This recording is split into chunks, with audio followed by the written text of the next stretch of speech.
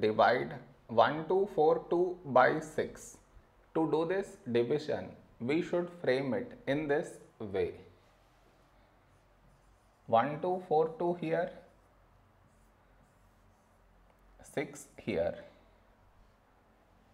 This is your step 1. Next.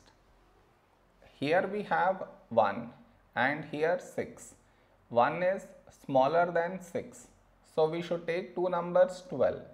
When do we get 12 in 6 table? 6 to 12. Now we should subtract.